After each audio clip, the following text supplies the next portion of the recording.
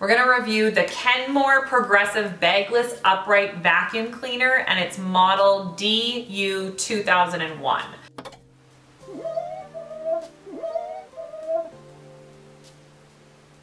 So I've already got it kind of put together here. We turned it on for a second and it already suck, started sucking up the hair out of the carpet, so that's fantastic.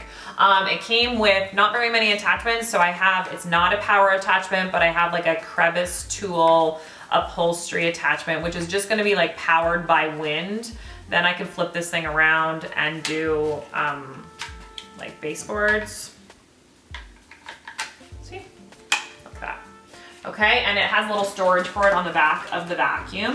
This has a 25 foot cord and we have three filters. So we have a filter, hold on, there, okay. Here's one filter, so foam washable. We've got a felt filter here. And then we also have a HEPA filter down here, which is, a lot of people really like HEPA filters for allergy, allergens, and especially if you have pets in the house. Let's just put this baby back together.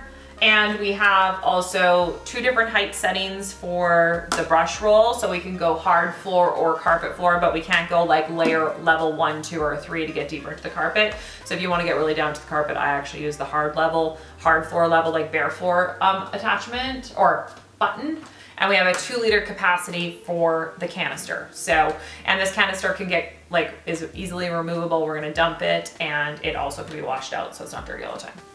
So I'm just gonna do a pass over this carpet that is already dirty because this house has two cats in it and a chihuahua. So we wanna just pick all of that up first, then we're gonna add our own little elements of surprise.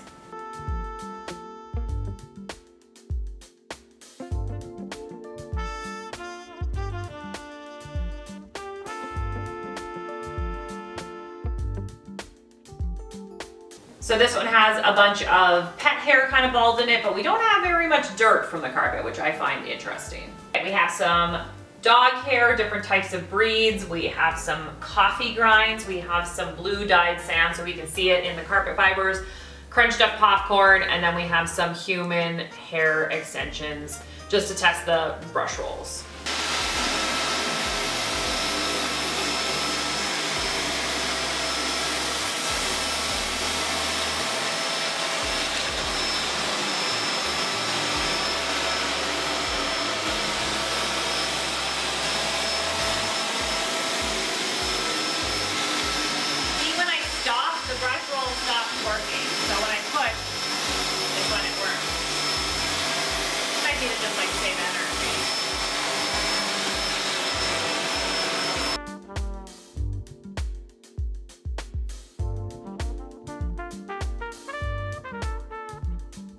So we picked up a lot of the pet hair here. We've got the popcorn. We do, we have some dirt in here and some of the coffee grinds. It's just not as high as what I would have expected for the dirt on the carpet. But then let's check the brush roll.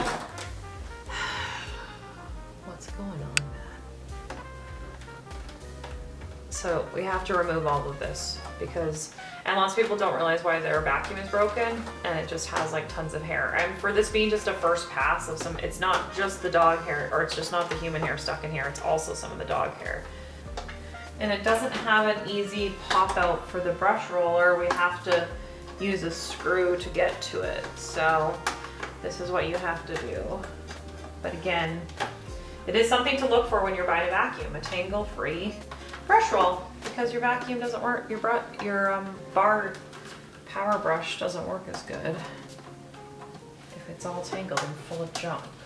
I'm just gonna test out and see if we get any carpet lines from this vacuum. And this is a little bit of a lower pile carpet, so we'll see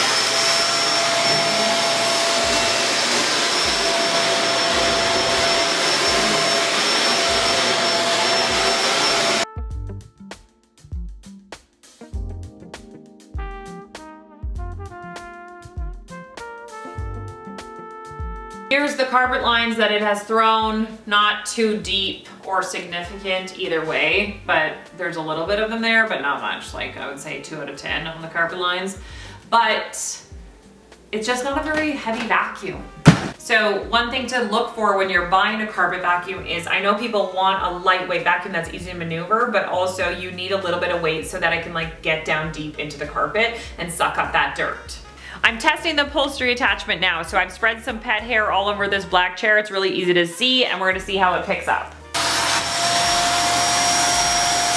There's no power attachment on this upholstery attachment, so it's interesting to see how it'll work with just the suction power.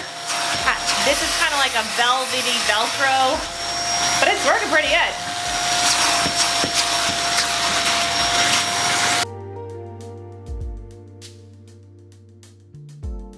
So I think that worked pretty good and it worked quite quickly. So I got all of the pet hair up. Now I'm gonna test the stair attachment. I planted some extra hair in here. I just wanna see what it gets up.